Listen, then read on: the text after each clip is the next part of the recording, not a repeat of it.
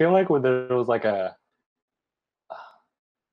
I don't know, a mock game show of that. Possibly. It's probably Japanese. All right, I can hear it's not loaded up on my thing because my web page is still loading, but I think I can hear everything going okay on your computer. So that sounds Yes. positive. All right, fine. So let me reactivate a Discord window so we can see what you're doing. Window Do- capture.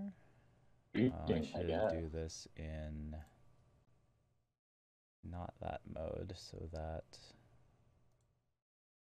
other people on Discord can be hidden and safe. Discord.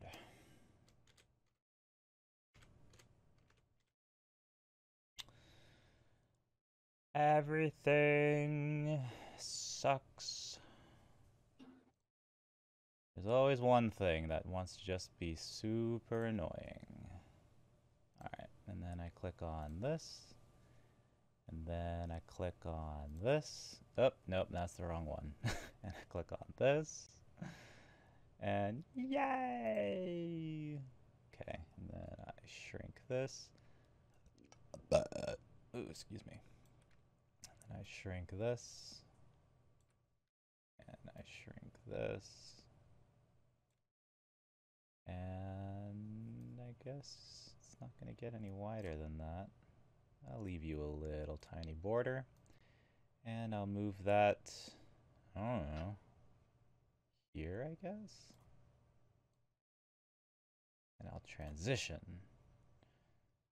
Yay! Oh, you know what? I'll move you up here because nobody needs to see the assets that I use. Cool. All right. Make you a little larger.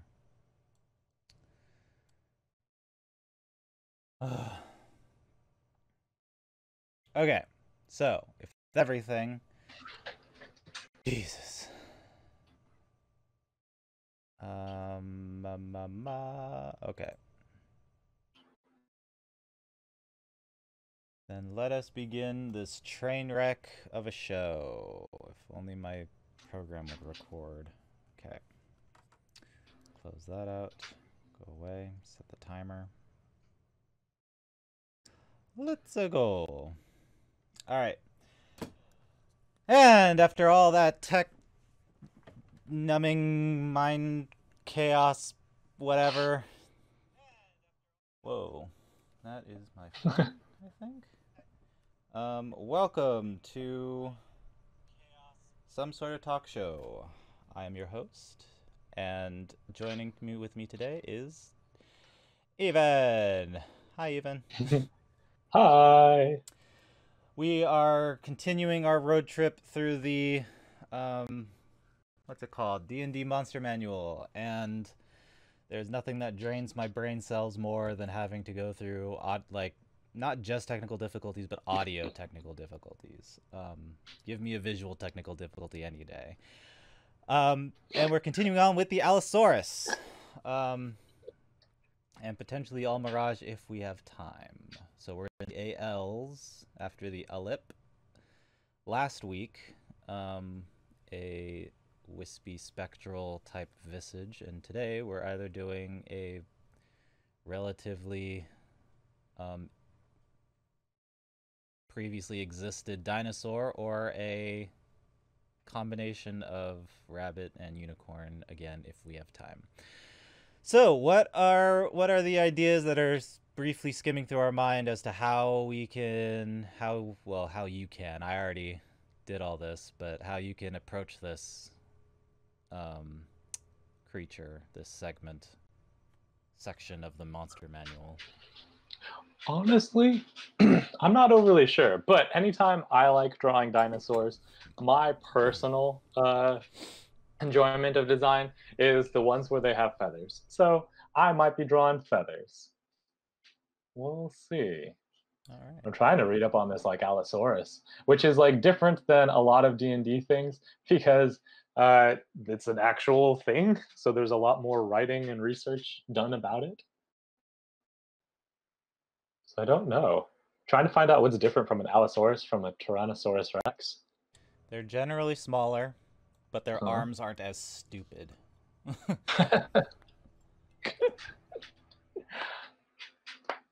I've noticed that a lot of depictions of them have like little ridges above their eyebrows. Yeah, they got a Um, little crown. but-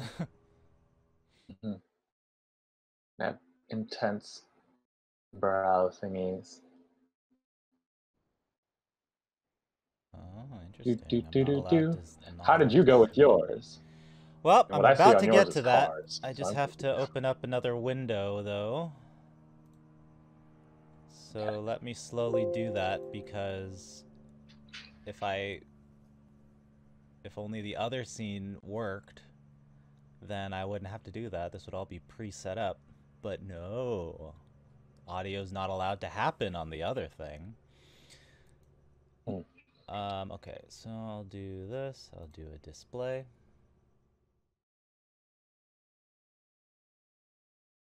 add source. I'll say yes. And it will be that one. Yes, done. Did make sure there's no secrets or spoilers on my desktop. Ba ba ba ba ba ba ba ba ba ba ba ba. Nope. Looks like everything's okay. Except for this. I should hide this because that's not going to be relevant until um, a little later in the month. Any other spoilers? Okay, good. Um, all right, so idea that I went with is Z's. Oh no. Oh, I have to set that up again. I forgot that I'm not on the. Uh, I set all that up. I spent so much time setting up all the visuals on the other thing. So sad that the audio won't work, and I have to keep constantly reminding myself that I'm not there anymore. I have to do this other thing. All right, fine. Media share asset, add source, browse, find the thing that's on my desktop.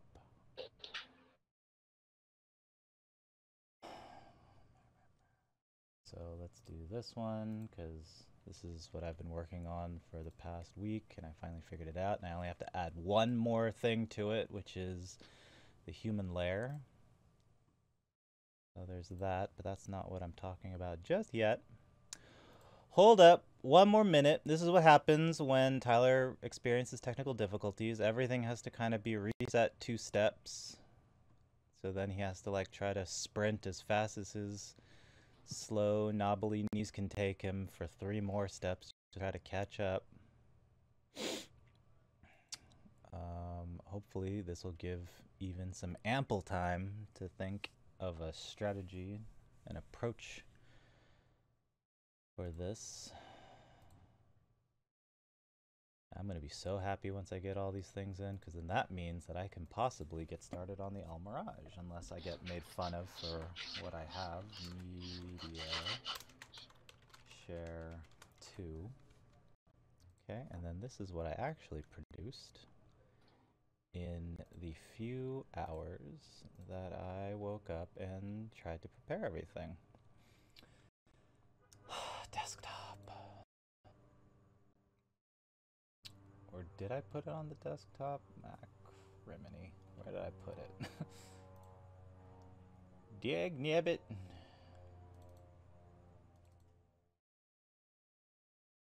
So one thing that I did want to um, kind of talk about while I do this is what um one of the things that I've been kind of always disappointed about whenever I play D&D, a druid in particular, is um, the lack of use of dinosaurs. You know, and like I get it that like explicit history books don't exactly exist in the like time era that usually D&D settings are depicted, but You know, there has to be some sort of semblance of an archaeologist or something like that, you know? And it's just, you know, it's always disappointing when you sit there and you go, so DM, have I done any sort of research or anything, you know, like some sort of loophole as to like, can I access this section of the D&D monster manual? Because I think dinosaurs are criminally underused in Dungeons Hmm. and Mhm. Dragons. I think in uh, fourth edition, I want to say they did a cool thing of recategorizing like the the the, the umbrella term of dinosaurs, where they just called them behemoths, Mm. um, which I thought was like an interesting and strange idea. Uh, because like you had to take a moment to like behemoths. What are behemoths? And you're like reading through them like that's just a stegosaurus.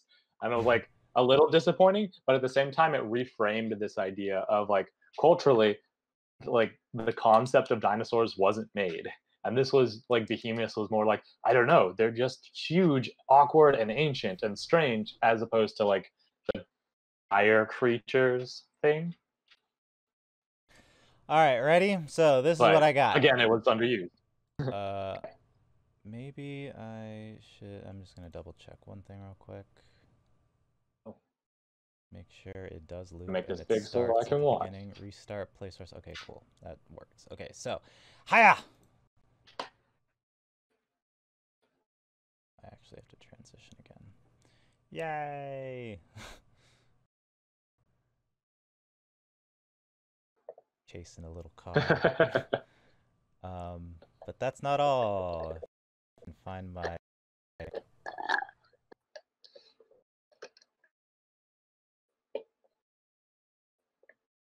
So yeah, basically, I just looked around to try to find an Allosaurus depiction, and then I smashed it up into three different pieces. I was considering a fourth, but I said, hey, I can cheat it out a little bit by just moving him off screen a little bit.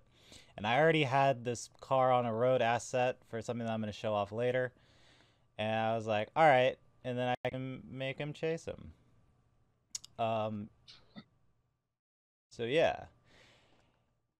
And yes, I if- hate the like pixelated white bits around the edges, but Yeah, well, besides that, as like a quick like uh like if this were an animatic, I'd be pretty happy with it. Get the idea.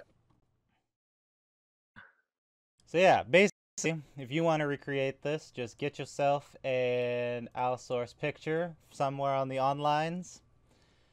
And then, if you want to make it move, you know, I mean, you could easily just put this thing, you can easily just put this thing in and, you know, just make it, you know, just kind of hit the rotation button and just make it, you know, just make it go rah, rah, rah. Um, but that's boring. Like, why would you want to do that? Why would you want to just take this thing and just, like, make the whole body roar? That's that's not cool. That's not realistic. So instead, you take this body and you smash it up into different pieces. So you got the body piece, you got the head piece, you got the leg piece. Well, not that leg piece. This leg piece. Because I decided that I was gonna be lazy. I was gonna lop it off at the like hip bone area. But you still got to have a leg piece so that there's a little more effort put into it, you know, because we're already cutting corners, so we got to make up for that somehow, right? Mm-hmm, mm-hmm. And then when you got that, come into come to the program that you're eventually going to uh, you're gonna use it all in. It's all gonna culminate in. You have your you have your asset. So if you don't have something like this, and you gotta have a foreground thing, right? So you can either have a little a little person, or in this case, I got a car because I've already got the I've already got the car and the road asset. And then all you have to do is come up here. Got to go to add. Got to go to image. Images as planes because otherwise it's just a background thing and it won't exactly show up like really good in the render. And I don't remember if this comes default. You might have to download a add-on to actually make that appear. But once you do, oh man, you're on you're on the easy street for really cool really cool effects. And all you got to do is add in your your your your assets. So um one of the things that you add in is the head, for example. It's all the way back there. Once you add in a once you add in a thing, you can't just leave it there because uh, that's not that's not how it works. You know, gotta do a thing. I'm just gonna hit a hit another image just for just for ha-has. So now we're gonna be at the beach. Um, can't just leave it like that because it just sits off to the side of the screen. That doesn't work very well. So what I've been taught to do is to select both these things, camera last, control P to parent the thing as an object, and then control C to do some copying. So then you got to copy the location. So now the so now the asset copies the camera's location, and you got to copy the rotation so that it matches the same. Um, so everything basically lines up. Uh, my program's chugging now. Uh, click off of it, go into edit mode let's grab this thing and let's kind of move it into position. So gotta hit that G and then that Z twice, not once, twice. And then we move it in here so that it's in front and in frame, relatively. I'm being lazy on that part right now. And then all you have to do from there to get it where you want, because right now what's supposed to be the background is actually just, you know, taking up everything. It's all in the for in the foreground. So you just hit that S to scale it. And it stays in frame, but it's actually moving back where it's supposed to exist. Keep it going until we see the Allosaurus. Uh-oh. We might have a scale issue here. Well, whatever. So, but that's basically the process of how you get your image, oops, how you get your image as a plane to align with the camera and then scale backwards. So I'm gonna actually get rid of this thing right now because now that we know the process of how I got my Allosaurus head, my Allosaurus body, and my Allosaurus leg in position. So down here, this is my camera view. This is what actually gets rendered the location because everything up here in my workspace is chaos and is moving very slowly right now and I don't want to mess with it. Um, so now I have these three different pieces. It's like, all right, well, I mean, they're all in the same position, so why didn't you just leave everything the way it was? Well, stupid. Um, you got to move the head because it's like bird, it's it's uh, bird properties, right? So the head's going to be like locked onto its target. And it's not really going to move that much, right? It's going to be on that weird avian gimbal. The body, however, is going to be all over the place because the legs are big and unwieldy. So there's going to obviously be some bouncing and some motion there. Um, so you take the head, so you take the body, right? But this thing's like you know, it, it's a rel it's a relatively graceful hunter, so the body's not going to be like bouncing all over the place. So I, you know, you just add a little tiny bit of rotation to it, and then you add a, you know, you add kind of a, a like an uprise because that other leg's coming down and it's contacting with the ground, but it's not fully, you know, extended yet, so it's got to lift itself up a little bit, and then it's got to come down with the other leg. Um, but the head I didn't move the head at all except for its elevation point because again, that thing's like, you know, it's fixated. It's it's in there. And then the leg was probably the most annoying thing to just kind of animate because not only does it do this kind of circular sort of location change, but it's also got to rotate a little bit because it's a foot. You know, it doesn't just you don't just have this L, you know, this L shape, and then that L shape's just moving in a circle. That's not how walking works.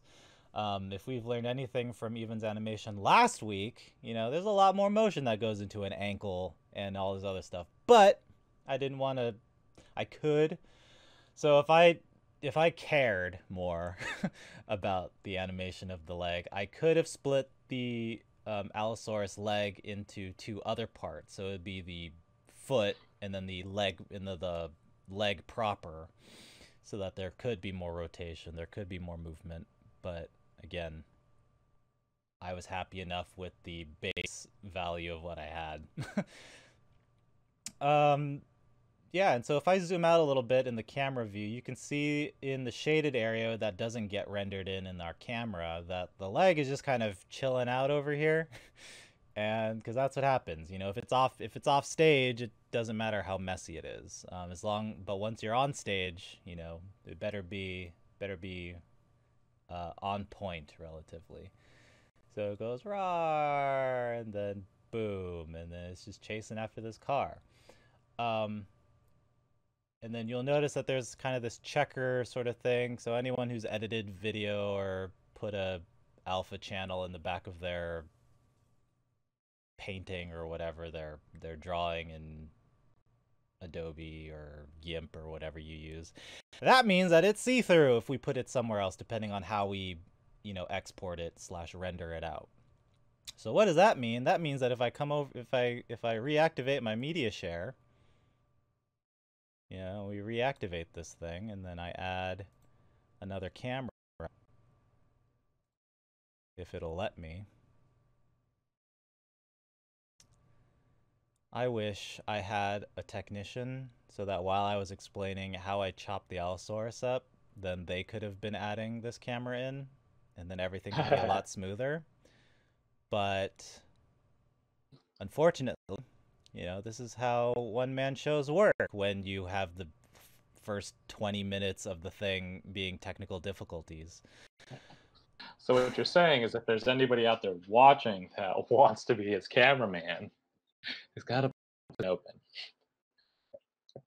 You know, technically I could also give you access to the Streamlabs OBS so that where you're sitting now, you could remotely kind of mess with my ads. But with that oh, being said, you're already running a lot of stuff that your character doesn't like, and Streamlabs kind of requires a lot of effort from your from a computer. Sure does. So that's why I haven't exactly made a point to ask that ever.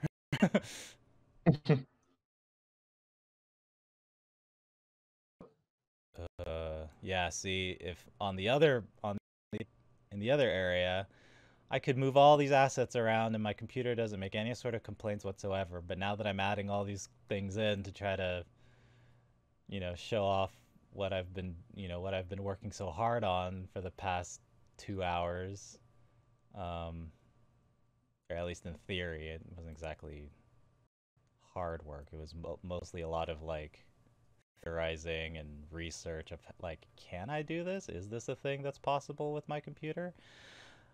Oh no, my camera went away. All right, here we go. So then I move it down. All right, so uh, while I fix this camera, can come back to what I'm doing a little later. So let's uh, focus on what you're doing. So you're doing a jumping thing? Yeah, action shot sort of something. Uh,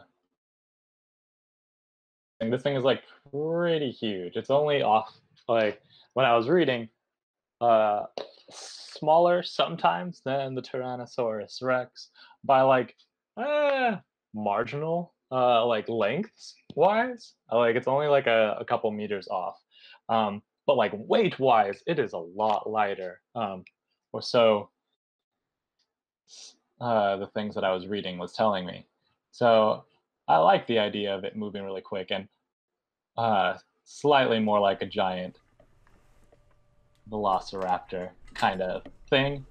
Even if not, I think everybody enjoys movement less or more than less than the less movement kind of designs. So that's what I'm trying. So I understand dino anatomy, not so much. So we're going to see what actually comes of this.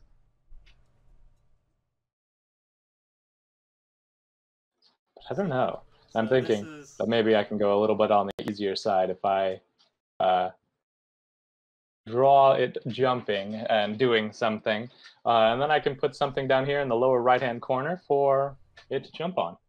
Um, possibly the next couple creatures that we're going to try to breeze past. So this is the uh, this is the this is the apex of my of my creation my creational view.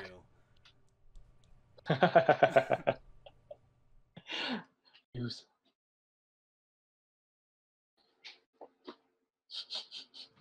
That's a strange idea of like, yeah, I'm so done with life. I'm gonna let like Jesus take the wheel. drive. I got it. If I'm gonna get eaten by this thing, so be it, God. Have me crash into something. Yeah, I could have like um he's just angry and so he just wants some coffee. It's just like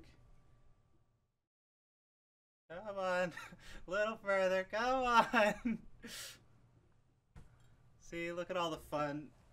For just two hours of work, look at all the fun you can have with with a green screen and some scaling issues. and some scaling issues. Uh, so anyways. But look at how much like it, it's still it's there's still some jank, but look at all the look at all the look at how much better the movement looks for this Allosaurus than just having a you know a static what you call it body. Static what you call it. Yeah, just a static rotation, body rotation. All right, let's make your camera larger so that I can show that off. But first, let's get rid of this camera because it seems to be lagging my computer out. And let's get rid of the Allosaurus thing because I'm done with that.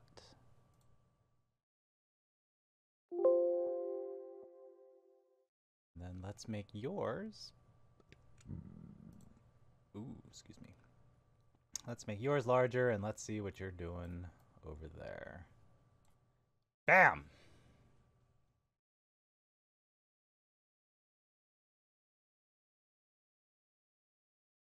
Was interesting. You were talking about like um, the druid and the druid's shape change ability and how it does kind of I don't know. It's frustrating knowing that there's dinosaurs as a possibility, but will you be able to use them? Hmm, maybe not. And particularly something like an Allosaurus, I was like reading that they lived about um, uh, 165 million years ago, whereas the Tyrannosaurus rex possibly lived around 65 million years ago. So 100 million year difference between these two creatures in their general existence. So, uh, and although the um, the there is like the the pyramids uh, themselves, uh, like uh, the pyramids of Giza, um, exist, existed around the time that like um, woolly mammoth were walking around and stuff. That's still a very very large distances between things existing for you to give any sense of seeing these creatures. So it is kind of like frustrating in a fantasy sense, trying to like add some reality to it, but also knowing that at any time the DM could decide that somebody has this creature and it's going to attack you. Roll for initiative. and they don't. I don't know. I think it uh, all like on the sense of druids and stuff. They go to like they hardly ever or I've very rarely met anyone, uh, any DM or player that goes into like trying to articulate how does one like learn to shape change uh, learn the shapes of a particular creature. And I think that's an underused thing. Um, to which, I don't know. I think I would, I'd, oh, I don't know. I would like be cool with like, oh, yeah, of course I wouldn't be able to like figure out how to turn into this creature just by reading books or just by looking at him because my shape change ability is actually pretty difficult. I have to watch them for about a week and then I need to eat them uh, systematically dissecting them in a way so I understand their anatomy. Like yeah, I think that'd be cool. It's like you have to ingest like some portion of their DNA. So it's Mhm. like so it's like, oh yeah, I can turn into a triceratops, but only a triceratops. It's like how how? Oh, I uh chewed on a fossil. like maybe it's like a it was like an ancient druid rite kind of thing that you had to check in with your your master once you got like strong enough and they're like okay now you can like nibble on the sacred bones. And you're like oh sweet. And although it tastes disgusting and it's hard to uh, to chew uh, down the marrow of this old thing. That would be a really cool um, that'd be a really cool storyline to kind of write out that this there's this druid tribe that starts off like all of all of the young of their of their tribe starts off in kind of this like base camp sort of thing and this like uh yeah base camp sort of thing that's just kind of in the center.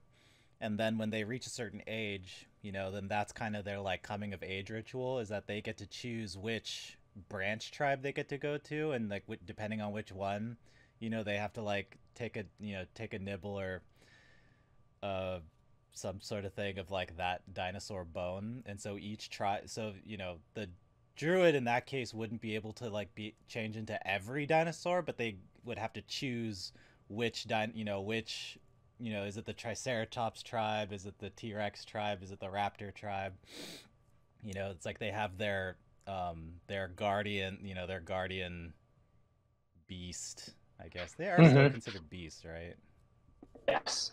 And that's why you can transform into them because they are beasts. And like definitely I think it's that would be a, a really cool there's like a lot of possibility of like why a druid that's supposed to be staying relatively in one kind of area um, would go out and adventure and do things like because you're you have to go around and like collect I don't know new specimens for your your people. Uh, maybe your bone or your bone supply has like finally disappeared or been like eaten enough like well we need to find other things because new generations are not going to have the power of these ancient powerful creatures and we have to like hunt these down. Or some other sect stole your your bones and you're trying to return them. Hmm. going after indiana jones and him putting them in museums and stuff. And you're maybe a bad guy now but Well, I mean that could that could really play to your um I mean you were it was a paladin then, but that could really play to your aesthetic in the sense of, you know, that's the DM allowing the players to tap in a little bit to their like, you know, to their more evil tendencies is that, you know, they could help out this druid um by what's it called? By um I, I want to say reallocate, but that's not the word. Um, kind of recover these quote unquote stolen, you know, these stolen artifacts from Mhm. a nearby like elven museum or something, you know. like this society thinks that oh, you know, we're we have this museum open for, you know, for the preservation of stuff, but in reality they're actually killing an entire culture just up the mountain a little bit. which I think is pretty cool in an idea that like from an external view, it was like, yeah, look at these like crazy, like I don't know, crazy uh, bush people that are just eating these like totally or like mostly inedible like artifacts of the last last of these creatures kind. Like why why why? I was like just so they can turn into dinosaurs and enjoy destroying our stuff as it co- goes through their area monsters and it's like no uh, screw you who told you you can make it uh, like you can build on our land I think that'd be a really cool thing is that like um you know for for a long time during this I guess it would be a side mission or just kind of like if you were playing a, one of those more like long-term like um custom games type things like this could be um the druid player in your parties like this is his like month of like background like story mission type of a thing um Mhm. but like for the first half of like this story arc um you know you can kind of sympathize with one or the other type thing but then later you know and you're like okay well i understand the the need for the museum because like they um you know they're they're there for preservation. And these other guys you know they they have this they have this culture this this ritual that they also want to preserve. So it's either this pr- preservation of something this object or this preservation of this action. But what either don't really like um kind of acknowledge or what's not really revealed is that there's this arch druid that's just able to like if um it's not something that happens often because you know who wants who wants to permanently be removed from their society? But if someone chooses to they can go to this arch druid who knows true polymorph and just turn them into a you know a dinosaur for I, I think it was an hour or something and then it's permanent so it's just like you know they they they could do that but it's not something that's yeah but it's not something that's nice to do because then you know obviously the the follow up is you get to spend maybe like um like a month or a year or so as like this living dinosaur but then the tribe's probably gonna hunt you down. Or you get to live like a god until you die. That's true. I guess technically i think druids also have um petrification spells so, I mean, there's that option too, where it's like, all right, I mean, we can just instantly fossilize your bones whenever you expire. So, actually, if you rewrite that, so I, I, tried to make it more, more kind of this like dark sinister thing, but the, you know, it could actually be that um, the other way around, in which the you know it's kind of this this psych this this cyclical kind of you know changing of the guard where it's like the old one um, the old quote unquote guardian you know expires and then they have to find a new one. So they have to search their you know they have to search their tribe for whoever's the most worthy to become the next you know lord tyrannosaurus or lord triceratops or something. And then the old one gets petrified so that the bones don't necessarily like deteriorate as fast enough, but shards of it can still be chipped off and like, you know, fed to the younger generation so that they can, you know, so that the ritual can continue. Um but then the museum portion of that story would have to also be tweaked because now there should be no issue if they have this kind of ritualistic way of just cycling out the you know the new for the old to maintain this ritual. Um, I mean, maybe they want the the old and they have like somebody stole the old, the new one exists, but you're stuck with this now decision like do you eat the new person that is a dinosaur? Oh yeah, it could be a speed so instead of okay, so that could be that could be a a thing. So instead of it being this like so we know that these dinosaurs live for like 102 years you know. Um, we have some time for a few generations to go by before we have to actually do the you know the the changing ceremony. But now that there's museums in here and they don't know that we have these living representatives they think that they're doing a good thing by trying to quote unquote preserve history um, by stealing these, you know, by stealing these things from the earth in which we laid them in in our quote unquote graveyard, we now have to ra- more rapidly do this thing so that we have our resources, and it's like literally killing our tribe, you know. So finally, we're fed up with it. You know, we don't, you know, this isn't right, so we're gonna start attacking the museum, and now you've got these, you know, quote unquote eco terrorists coming in, and then the players can find out that oh, they're not eco terrorists; they're actually trying to stop there. They're trying to stop their tribe from being preserved into ex- extinction. mm-hmm. Um, I had another concept. Oh, the other con the other way that you can write it too is in- just you know switch out um, switch out the museum for a zoo. You know, it's like whoa, dinosaurs exist. We thought they were we thought they were all you know dead or they're in a underground cave somewhere in the Underdark. We didn't know that. Let's friggin' cage them up and sell admission tickets. But in reality, they're actually just, you know, these druids that volunteered for this ritual. so it's like, alright, so now what are we gonna do? Are we going to just destroy this zoo, or are we going to try to educate them so they can work together, or are we going to join in with the zoo and basically trap all of these druids into society as a sideshow act?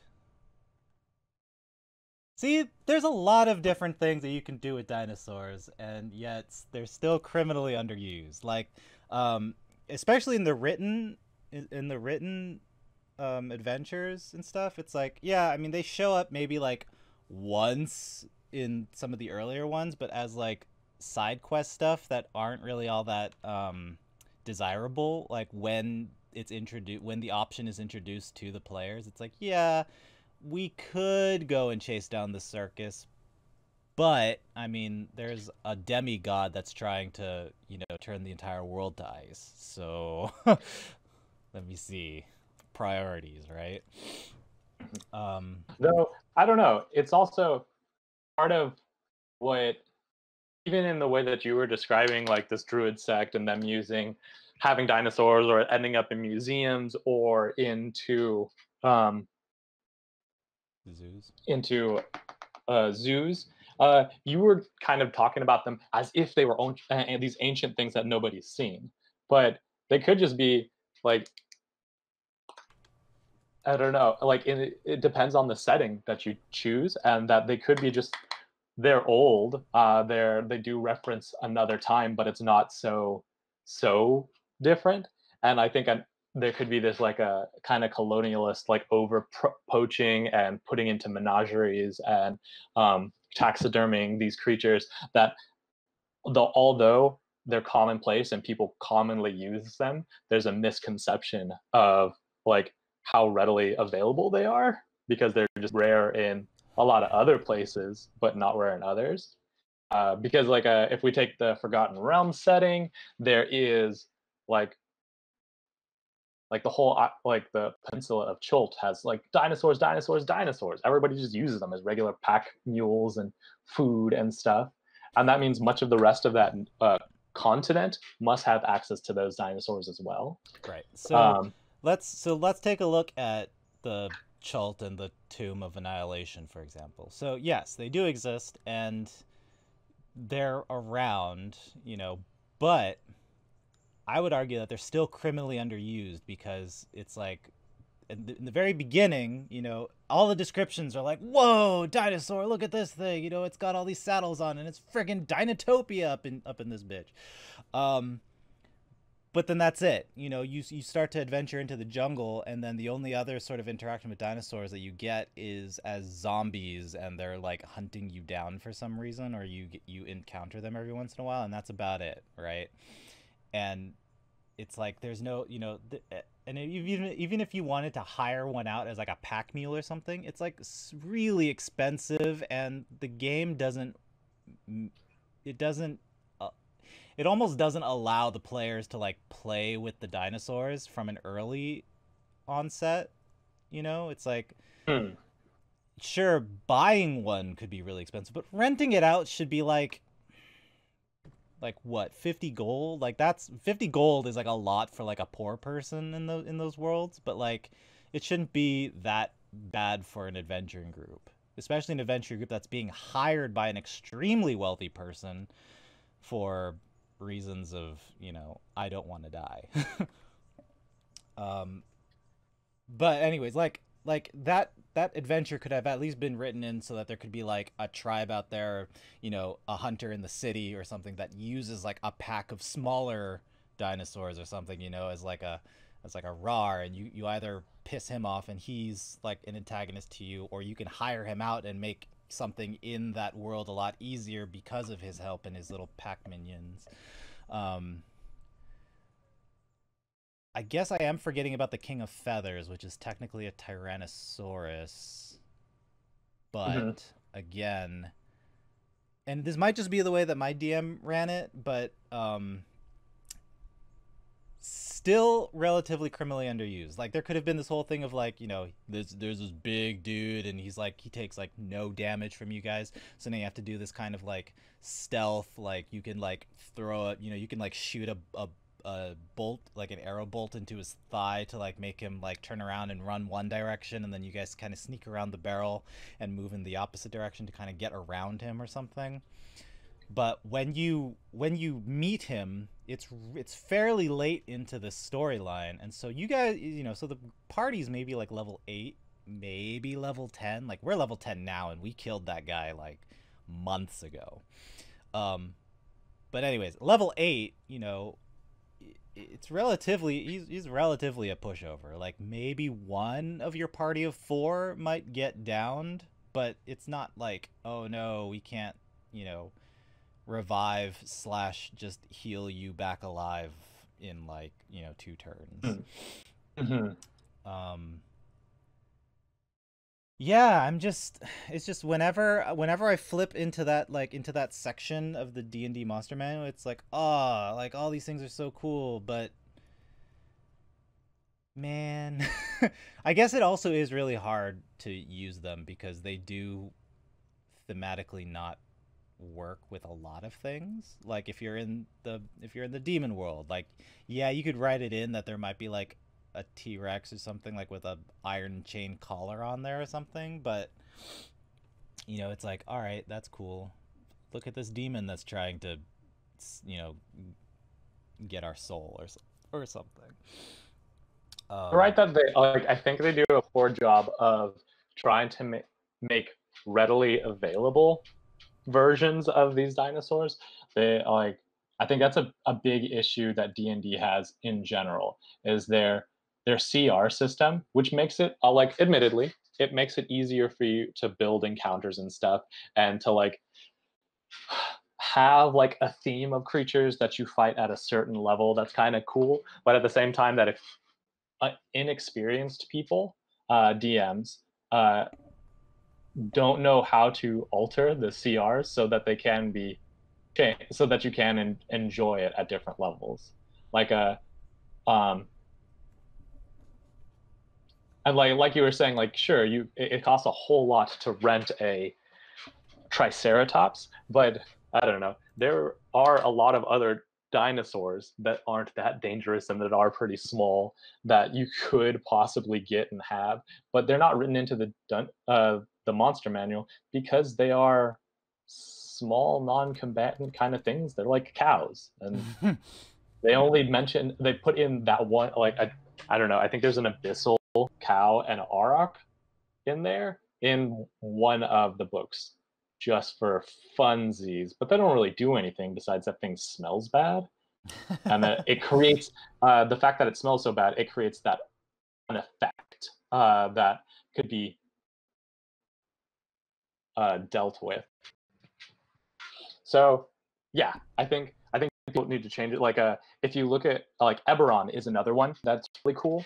Uh, it's a neat system or a neat world D and D where halflings like own a very big area of like plains and they're nomadic and they move around hunting and living with and on dinosaurs. It's pretty cool.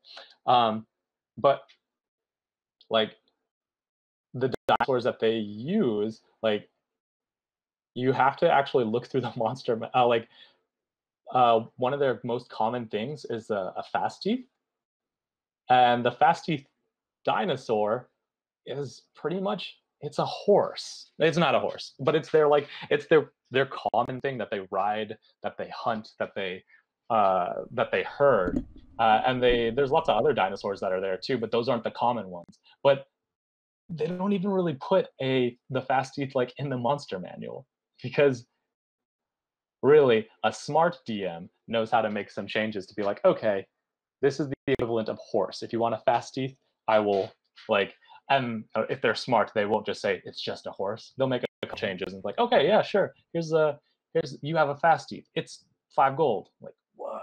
That's a steal. But that's because they're just everywhere man. But also even my dm I was running it, like they were so perplexed at like um the uh the the fact that the, the halflings have dinosaurs but they kind of like missed a subtext that like dinosaurs aren't they're just because the the halfling plains are super open like and that the halflings prefer keeping them alive and living and hurting them that they're more prevalent there but dinosaurs exist in other places. They're just rare because people have hunted them down, like how wolves are rare in a lot of places, but just because we've killed them. But there's a lot of other places where that's so overgrown, uh, like on different continents, and uh, even in some of the jungle areas in the like the main continent that you play on in Eberron, that I don't think my DM noticed that like dinosaurs exist there pretty commonly, and that you should just have them and people shouldn't be so surprised. But surprised enough like if i saw a tiger in real life i'd be pretty surprised. It'd be awesome. Yeah like i think that's one of the oh, um, that's one of the questions that i always ask when i get to i forget what level it is for a druid but like when all you know when their their their shape shift ability when it widens like for that first time and suddenly you have you know all these other things. There's a lot of dinosaurs that are also in that in that category. And so that's one of the first things i'm just like uh question. In in my past have i ever researched or seen you know this dinosaur this dinosaur this dinosaur? And it's like well no. And it's like oh man. Yeah. And i think it's it's a lack of creativity and understanding on the DM side of how these dinosaurs existed and what like um like uh ecological niche they per, they would serve in their environment because they very well did and could just act as like those those same things that we're used to seeing like uh, of like cows and deers and um uh, at lions and tigers. Like the fact that so many people get away with the murderous use of the giant ape or giant eagle. Who the hell ever saw a giant eagle? Like, if we really want to talk about it, like, why is that so much more believable? Or a dire wolf? Why is that more believable than than a velociraptor? Like, it would a dire wolf, velociraptor hunts in packs, really big, charges a thing down and eats it viciously. Yeah, the one thing, one relatively, the one option that I accept the most is do a history check, and it's like, all right. I mean, that basically means no, but if I roll high enough, then you'll accept it. So, that's that's at least a willingness to leave it up to chance. But like when the answer is just flat out no, it's like, oh man, like why? um but that falls under I, my I think criticism of critically or uh, criminally underused. so yeah, and I think again, like it's part of the DM's fault for not going. Okay, if you want dinosaurs to exist, how do you know about dinosaurs? Where do they exist? Is there like a secret grove? Did like is there are they commonplace? If they're commonplace, that gives me some possibilities of things that I can use. Like I've been wanting to have uh, like a knightly order of like like uh, mounted paladins. But i just didn't know like now i can make it really cool where the fact that they all ride dinosaurs because you said dinosaurs are common. Like or that if they are like a niche sort of thing and there's a special place like ooh now i have a quest that we can do. I definitely like making my claws too long but screw it. well, I think when you're yeah. this zoomed out, it's hard to like do mass detail on a claw. Like unless if it's a raptor, like claws are generally pretty small and overlooked. as long as there's something sharp protruding out of a finger-like nub. yeah our our claws even like can do some amount of damage and you like hardly even notice those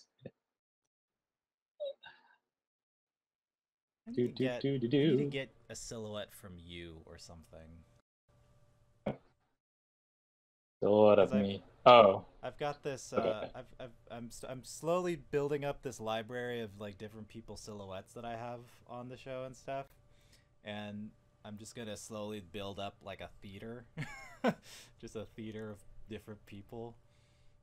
But I need to figure out how to do it, like, because I hate. I've tried with like this a static thing, and it works, but I know, and so it, it bothers me. So I need to try to find a way to like acquire different um like if people just like move a little bit, like what I'm doing now. Mm. I guess uh, it's a, a kind of a silly thing, but if you, I don't know how easy it is to have it in there, but if you recorded a cycle of a person and they and you put that because it would be the same as a cycle that you would secretly know Yeah. and that others could catch on to, but if they wanted, Yeah, I But it was I like need a- I think what I need to do is I just need to like i- um, direct people and just be like, all right, so what I need from you is like some kind of a contrasting background so that I can like color correct it so that it the silhouette works. But then I need you to like move three times for like a count of three, and then just stay still for like a count of four, and then move again for a count of three. Hmm.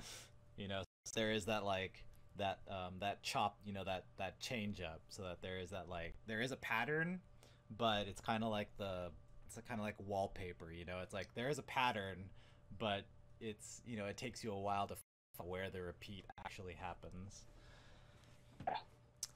Speaking that, of repeats, I realized the other day. Oh, go ahead. Oh, so I was just gonna be like, speaking of repeats, so this is the first pass of the animation I've been working on for like a half.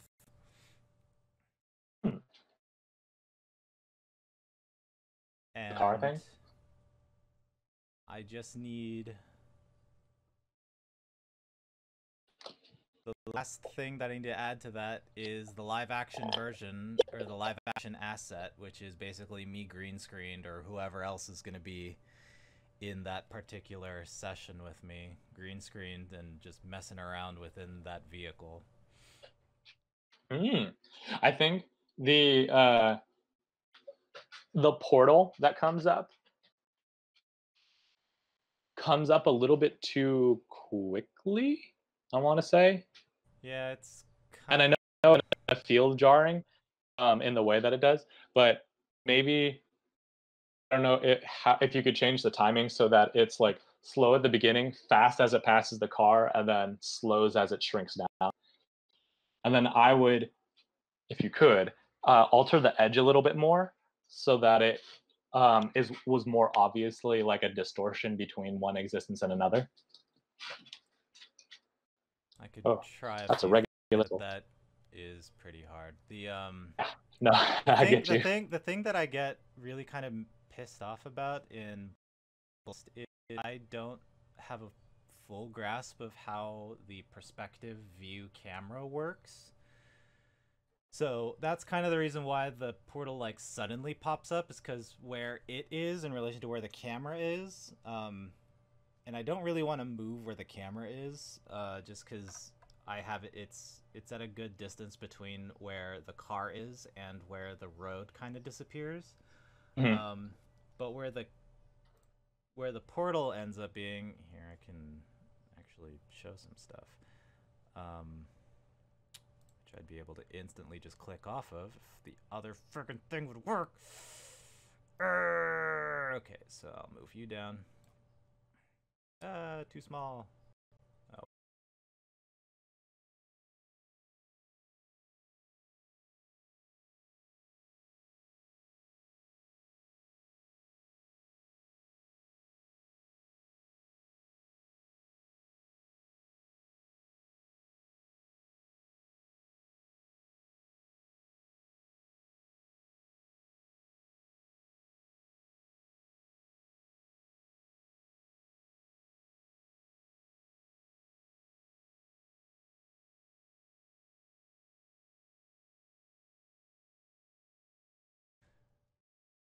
Um, something that you might do and it is just like a i don't know.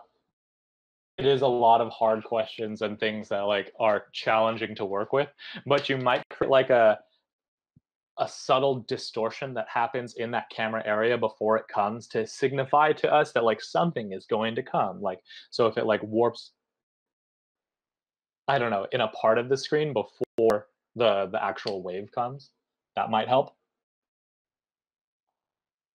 but again those are those are that those parts where it's you i don't know it's not so much about like the program showing it in the way that you want it um uh, you actually having to hand go in there and make it work.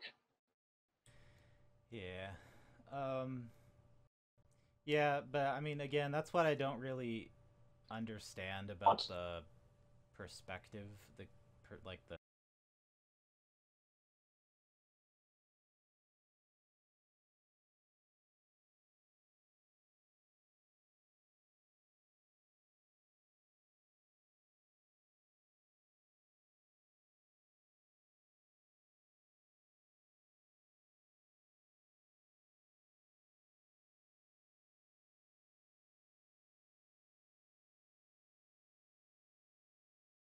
you know this rectangle basically that the camera moves down you know down through the middle of it. But in the camera perspective you know the the end of the rectangle box could be you know s- 16 units down but because of the perspective of the camera it it zooms that up so that it's only ever like four units away you know? So it's like no matter how far away i put the back of the hallway it's always four units away instead of the 16 units that i put it in the actual world. So i, I don't know. I just don't understand really what i'm doing wrong. Um, Strange. but now that i'm relatively done with this project i can finally spend some time to research as to why that's a thing. I mean, awesome. Yeah, you do just you go back to when you get a chance and learn.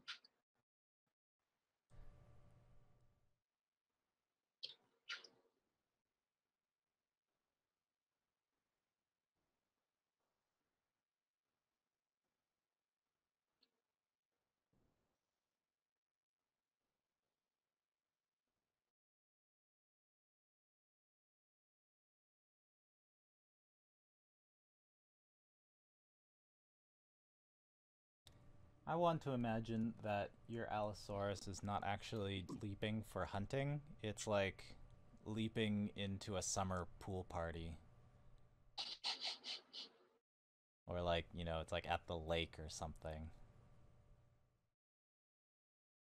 Like that. Like, oh yeah, Steve, you think that was a big splash? Check this out. Rah!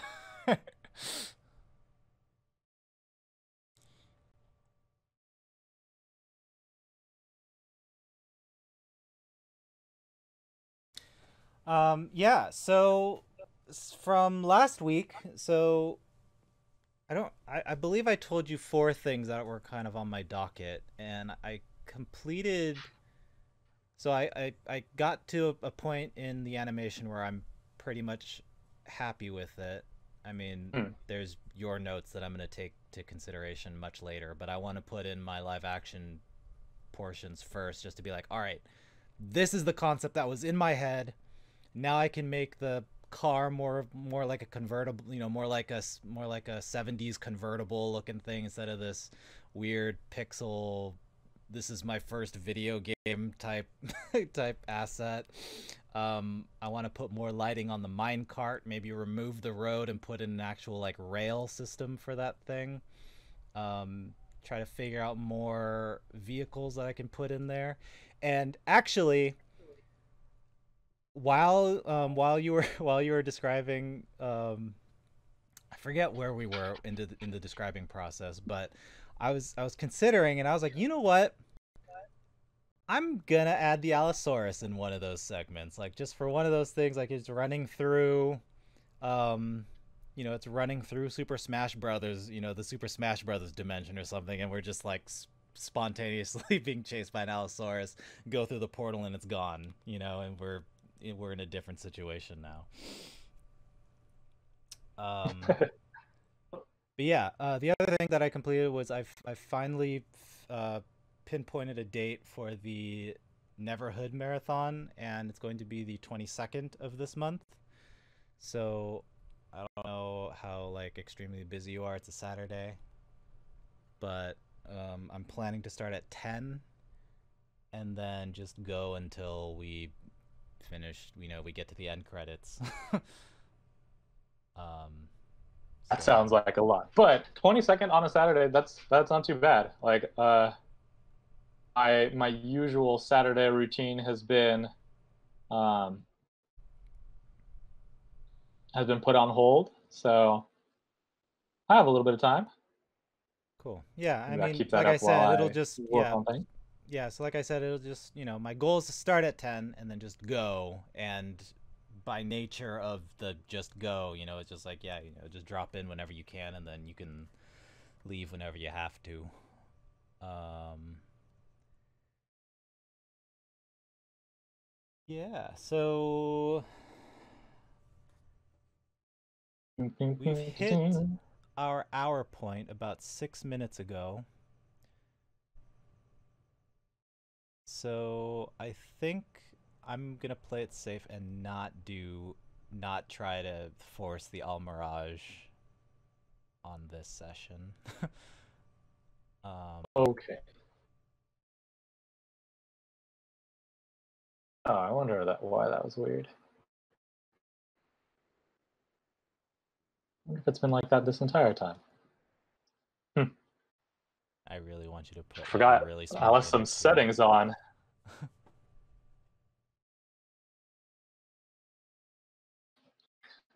Where I was going with it. Let's see.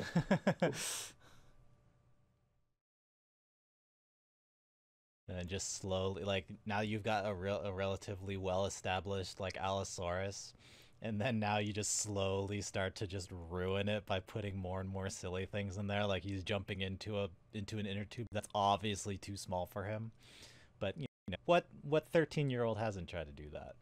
Um, and then put little water wings on his arms, and just you know just slowly start adding silly things that just slowly ruins the entirety of the of the image, or at least ruins the integrity of the entire image. Have you ever have you ever seen another artist do that where like they they have this really cool image and then they they sit back and they go, "Yeah." And then they get back up to the canvas or whatever medium they're working on and then they just slowly start adding silly things that are just like, "Oh man, you had a cool image and now it's a comedical. Like you had a cool like vicious looking image and now it's just a comedic looking image." Um, honestly, don't know. I don't tend to watch too many other artists at work like that. Um,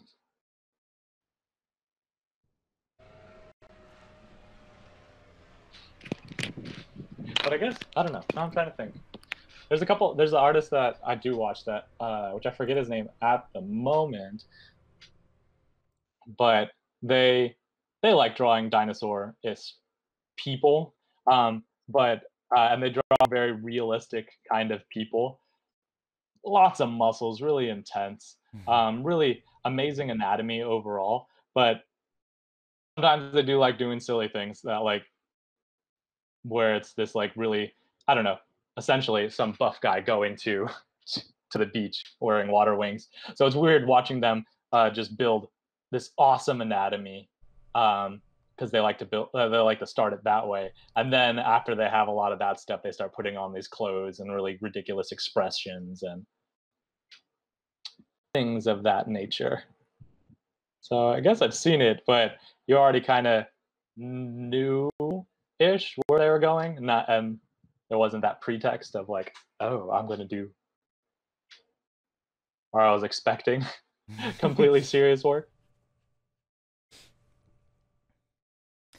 Yeah, I think to amend my my previous question, it's not so much like they they they sit at the you know they sit at their workstation and they create this really serious, really cool, really vicious kind of image, and then they mess it up. Like it's obviously on purpose that they would have this you know this initial image, stand back from it and go, yeah, that's that's right, and then they get back to it, and then they on purpose, mind you, just make it sillier and sillier. so, because I don't think any artist would ever sit back and look at something that's like cool or you know realistic, and then they go, "All right, now I gotta do more, and then they just make it more and more cartoony. Like I don't think that's ever a th- you know, but on accident. I don't ever think that's a thing because it's like why how could you how could your midpoint be something so serious so detailed and then by putting more detail it gets cartoonier and more childish you know like that doesn't that doesn't fully make sense to my head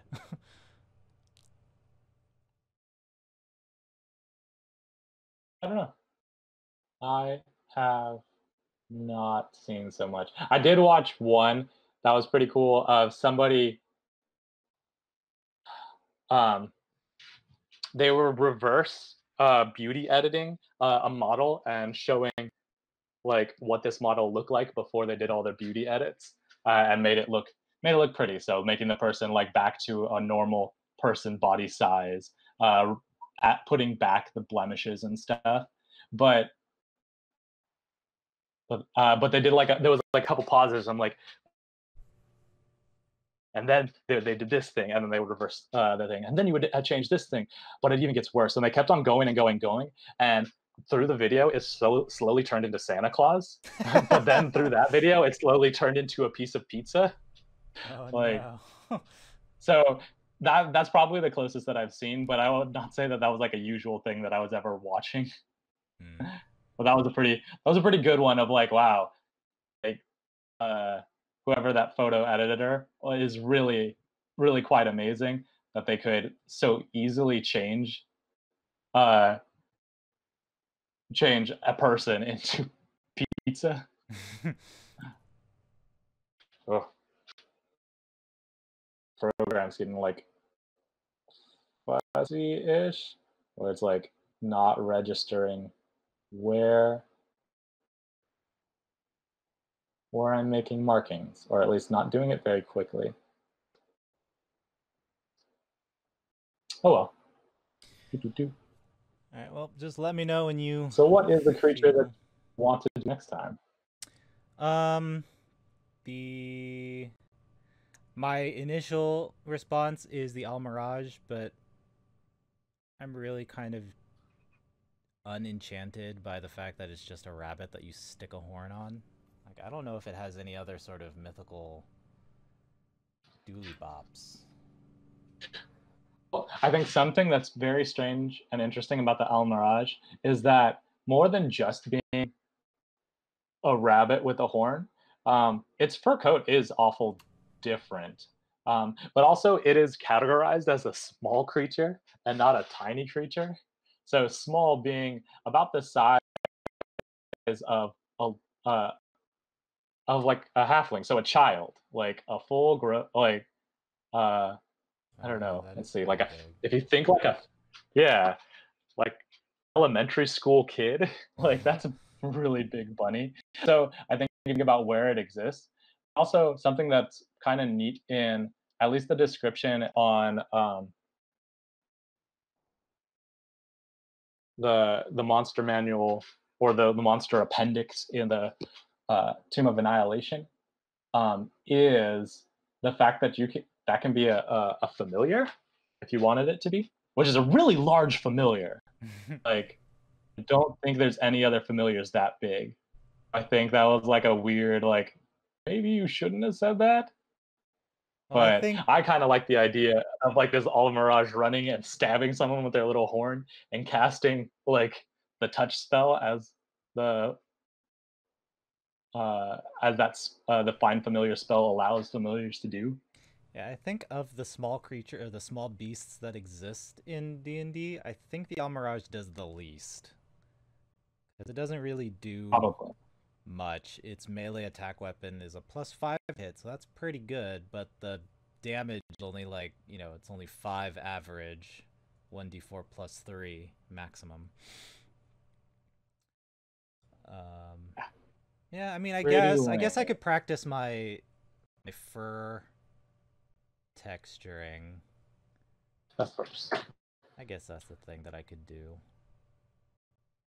I, I don't know um i don't know if like why, why yours thing why your thing doesn't but um in that uh booklet the before even the Allosaurus. I want to say no, maybe not because there's two L's. But um, no, yeah, it would be Allosaurus uh, after. But the Aldani is a creature. Does that not show up in your version of the monster manual? Let me see.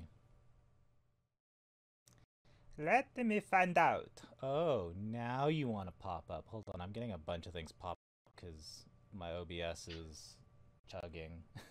I'm making it do too much. um, because when we wrap up, I want to show what you're doing, and I want to show what I'm doing, or I want to re-show what I'm doing. Okay, cool. Boop. Um, A, B, C, D. But not for adult because that's cheating. I'm sorry, what was the other thing you said? It was the Aldani. Aldani. All right. There's probably a re- if it is there, there's probably a reason, and I'll give it when I see it.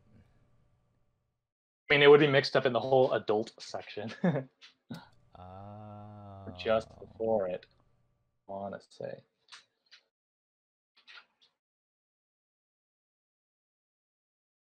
Come on, I'm not asking my computer to do a bunch of different stuff. Save this GIMP project as Aloe leg. Well, Allo chop up. How about that? Allo chop up. The other thing I was considering before I started my my Allosaurus project was um, how could I portray the pun an allosaurus? So like a dinosaur made of aloe plant. Hmm. but i was like i could e- i could probably easily do that in a drawing program. But i think i want to try this thing first to see if it works out and it ended up working out a lot better than i thought it was going to um burp burp burp um, Guide to Wildemount, Guide to Wildemount. That's a person. Dragon Heist. Uh, elementals. Albino. Oh, the Aldani. Lobster folk. Probably because I got thrown off by the lobster folk. Thrown off how? quotations.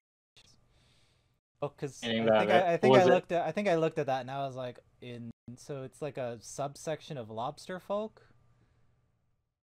So I was like, all right, maybe we'll Maybe, yeah. hold off We on that till catch that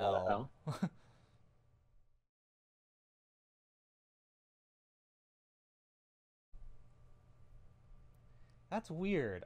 That's I don't think I've seen that very often where it has it in parentheses where it's like because I think in that parentheses it's not it's not like this is a subsection of this. That's an that's an also known as parenthesis. Hmm.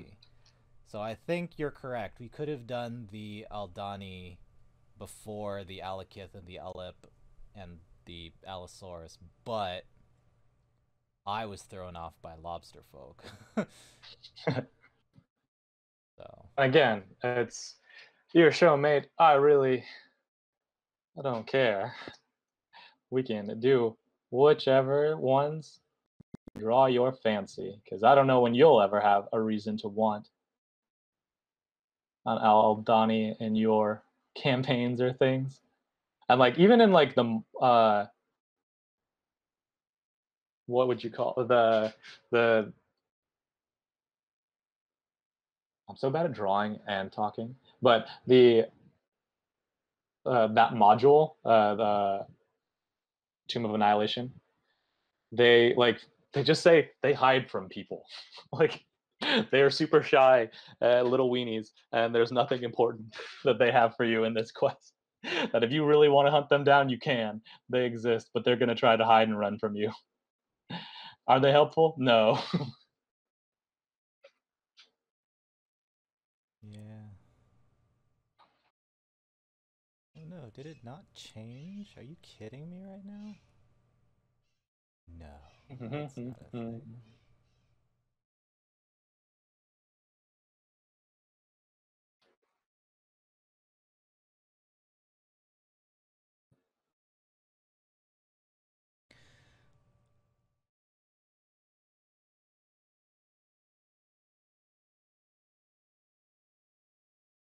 Oh, I was like, holy crap, did you animate your logo? or your your Instagram handle? Not this time. Oh no, I thought I changed the asset, but it didn't change. Oh well, I'll just leave it like that then. Alright, um... Mhm. Ugh! Rawr! Oh, my back. Ah. Alright. So, um, any other details you want to add? Not really. I think we're good. He looks so surprised. He's like, that that inner tube looks so much so much larger further away. nope, never mind. I see the eyeball now. Or I see the eyeball better. It's like, yay! I like it. Um, I wish I can change my media thing so I can re-show what I was doing, but OBS doesn't want to let me change my assets, so I'm gonna just leave it there. Alrighty. So that about does it for this portion of some sort of talk show featuring the Allosaurus. Um, next week, I don't really want to do the lobster people, so we're just gonna No um, worries. absent-mindedly skip over that and go to the Almiraj. Um, and I'll see how fluffy I can make a bunny, and if I can possibly make a size comparison also. Um, if anybody watching this retrospectively uh, can come up with another Allosaurus, either doing something vicious or doing something cute and silly, um, feel free to send it to Evenstarr Long on Instagram or to Foxstar underscore on Twitter, and we'll showcase it if we get any submissions. So uh, tune in next time, uh, next Sunday, maybe. I don't know, because next week is the 22nd. So we're doing the Neverhood marathon where I sit down with a couple of other people and we just run through an old Windows 95 game called The Neverhood. Um, and then that Sunday where we theoretically should do the Almiraj is the 23rd. So I don't know how awake I'll be. but that game also shouldn't take that long. So I don't know. We'll see. Um, I'll update on the 22nd. Just find out if we're doing it or not. But mentally prepare that we are. Um, with that, uh, any last words, Even? Everybody out there that play, uh, that runs D and D, figure out how to make beasts just work in your world best for your characters. Yeah, like you don't have to force feed dinosaurs into your storyline, but at least make them relatively accessible if the opportunity comes up. Um, all right, and with that, uh, thank you for tuning in and see you next week. Bye. Bye.